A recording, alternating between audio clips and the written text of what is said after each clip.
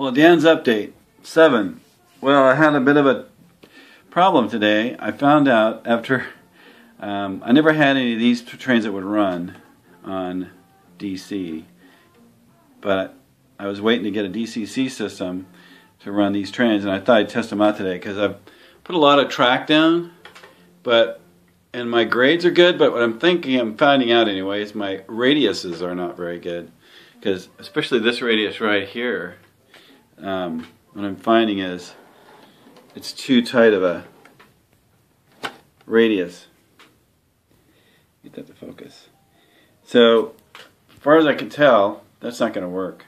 But I have noticed that my steam train I have does work um, pretty well on uh, I'm just that's the end of my track up there just came off. Anyway, that and this will work well. It pulls this grade, so I might just go with steam trains. We'll have to see, but I think this particular diesel engines with this track system aren't going to work on my radiuses. That's just a conclusion I've come to.